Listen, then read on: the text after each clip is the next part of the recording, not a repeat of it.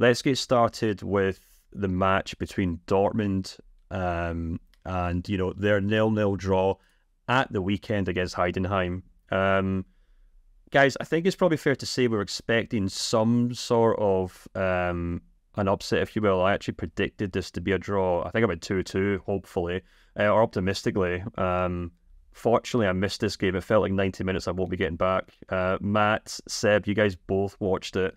Um, I'll come to you first, Matt, actually. There's two ways to maybe look at this game. There's A, this result's been a long time coming. Uh, you know, we've talked a lot about how Dortmund have been winning games, but far from, um, you know, conclusive in their performances or what a lot of people might do when they wake up on Monday morning, look at the results, and see how many players were injured for this match. And just to kind of give a brief rundown, uh, it's more or less a starting 11. We're talking Adeyemi, Julian Brandt, Duranville, Sebastian Haller, Gregor Kobel, Nmecha, Marco Reus, Julian Ryerson, and Jadon Sancho all out of this match. Where do we? Where do you fall on that kind of scale of giving them uh, credit for getting a point to begin with, or was it a sorely two points dropped? Um, you're right, it was coming. Um, I was at the first two games against Darmstadt and uh, and Cologne, and then despite the results, actually very similar performances to what we saw in in Heidenheim. Um, Bochum similar.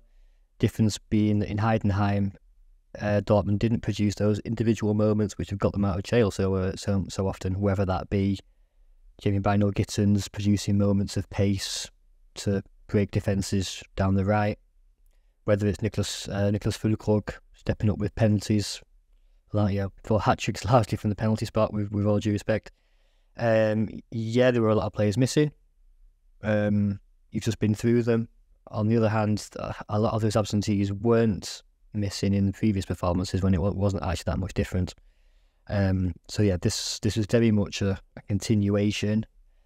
On on the other hand, if you look at the bigger picture, maybe ten points from the first four games, um, ten goals to one. Maybe you know, maybe, you can look at a glass glass half full in, in, in that sense, but the performance really wasn't good. And we, we said this for the previous games as well; they were not good performances and this time they can't even cover it up with a with a win. And um, I think Edin Terzic knows it. Um, he looked he looked as angry as I've I think ever seen him.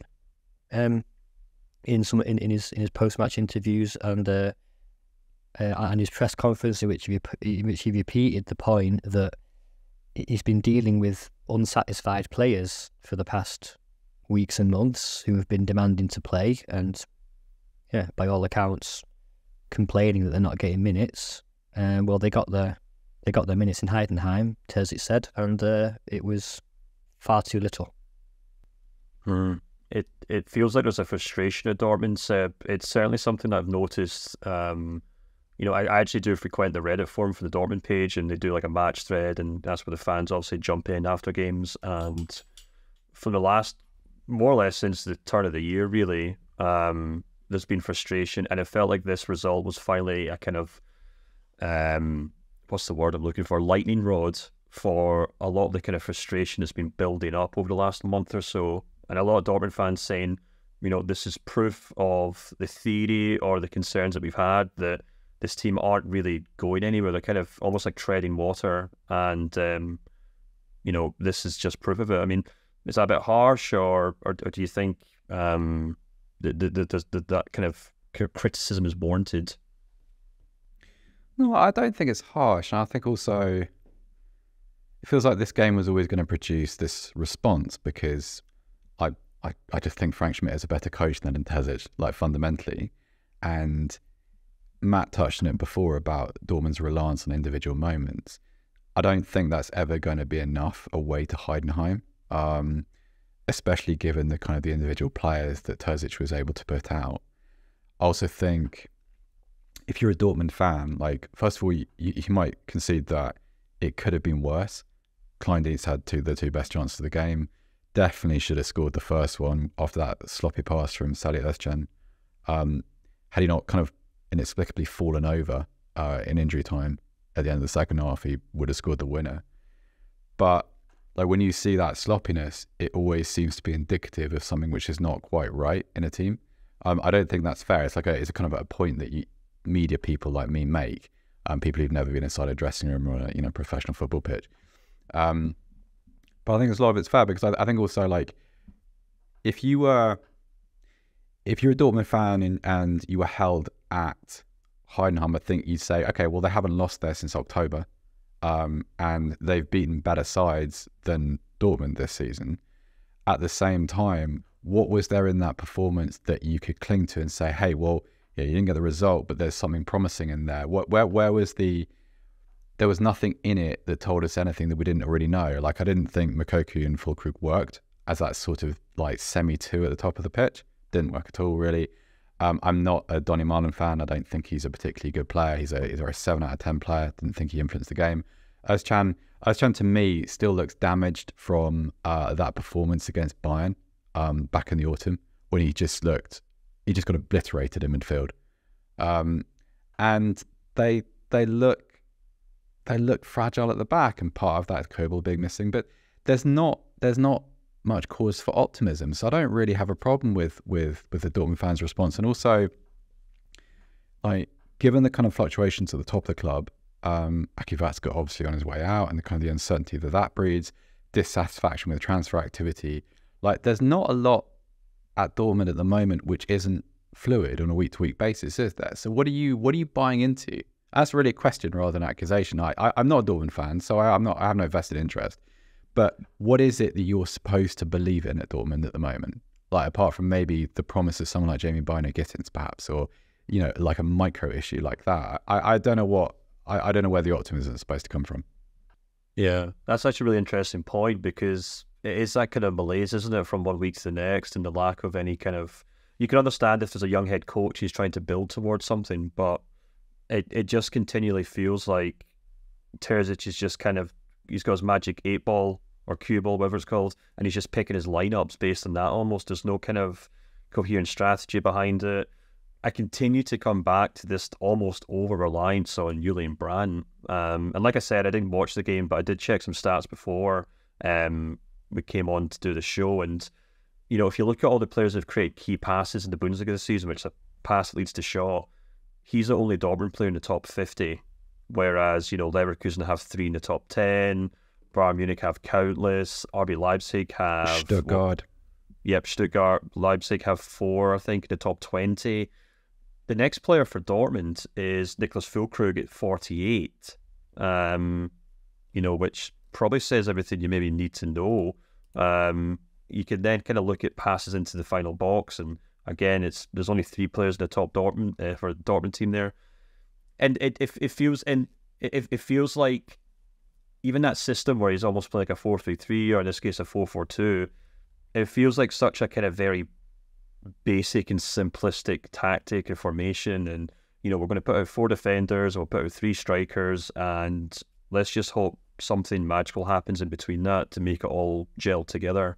Did you did you think, Stefan, that like so when I watched this game, I I, I saw a little bit of intent from Terzic because I, I, would say that like maybe this is probably closer to a kind of um like a, a Leipzig style four two two two, and that was probably a recognition of the fact that if you play with like a single centre forward and two wide forwards, you're kind of playing into Heidenheim's hands because they're so good at, you know, against the cross and they're so good at blocking up the centre of the pitch that you're trying to compensate for Brandt's absence by loading the middle of the pitch. But you can't do that if you haven't got number 10s in your side. Like there's no one there's no one there who can pass the ball. So it's like this kind of it doubles down on whatever frustration you feel with Terzic. It's kind of, well, he also doesn't really have the tools when okay, the injury list is long, but even when everyone's fit, there is still there, there is still that reliance on Brandt because he's really the only player who does what he does in this squad.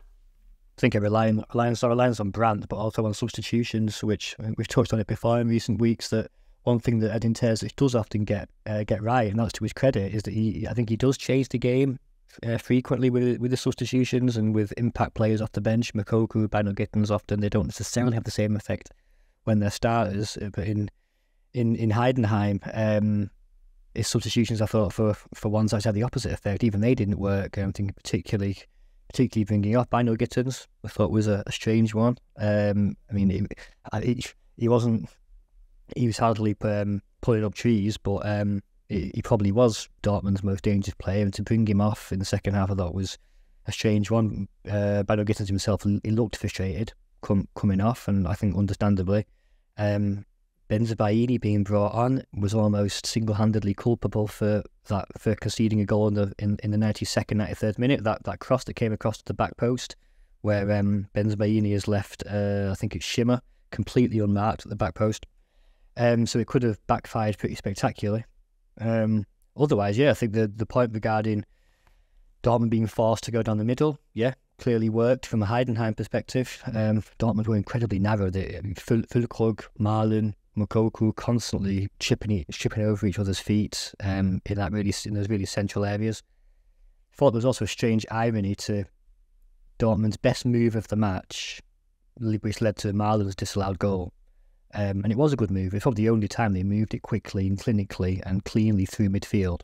Um, but even that came as a result of Thomas Meunier almost giving the ball away at right back and prompting what what Heidenheim would probably claim was a foul on um, on Kleindienst. I'm not sure. Maybe he gets just he gets just ahead. But the, the, only reason that tackle takes place is because his touch is terrible and he's almost given the ball away in a dangerous position. And it's only arguably because of that that Dortmund are able to break so cleanly and with so much space. So yeah, definitely. Um, yeah, with, without a doubt, Dortmund's worst worst worst performance of the season. And as for where they go, um, you've touched on the bigger picture. I do suspect that it's a bit of a the season is already a little bit of a write off given given the changes which are taking place um, in the bigger in, in the in the bigger structures of the club.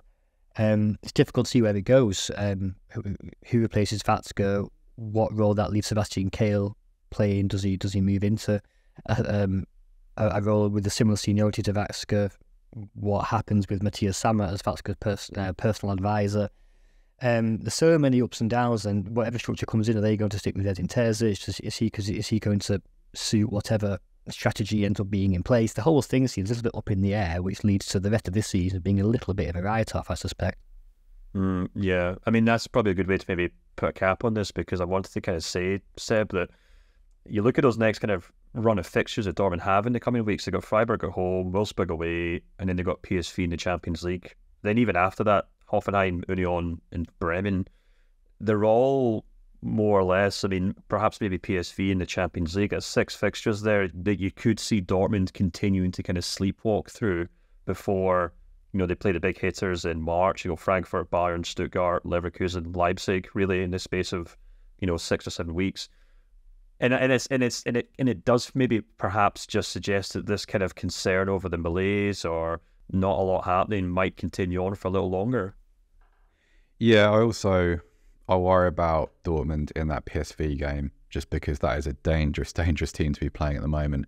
Unbeaten in domestic football all season, uh, cantering really to the Eredivisie title, and from an attacking standpoint, like just pretty potent. Um, and some of the, the, football, some of the defensive football we've seen from Dortmund recently, I, I know that their Champions League form has been above what they've done in the Bundesliga, but at the same time, like they look vulnerable. Um, and yeah, like I, I, I don't feel confident predicting what Wolfsburg are going to be like week to week at the moment. I don't think, I don't think even Niko Kovac knows.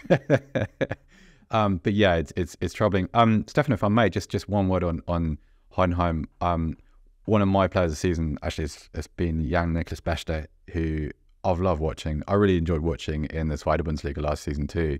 He's just a wonderful footballer. Um, and I know I'm almost certainly going to stay up this season, which is great credit to to Frank Schmidt. But um, yeah, he's got the irony of, of course, being as a former Dortmund player. I think he was spent some time in the Dortmund academy, but just um, for anyone who hasn't seen him play, like he's uh, he's just a delight. And I, I thought he was like uh, probably the best player on the pitch again on Friday night. He, um, he gave Thomas Meunier the run around all evening. Yeah, so, yeah, he, and really good performance. Like, he's done that to better players than Meunier as well, like this season. And, and uh, I just I, I'm impressed every time I watch him. Um, I knew very little about his backstory until last year, and and um, I, I, am a sucker for that story of player gets discarded when he's quite young and then works his way back up the, the divisions. And now he looks like he's worth, you know, 20, 25 million euros. He's a super player. Mm, absolutely. No, it's a, it's a nice positive uh, note to end that game on. Actually, I felt like I needed to redress the balance.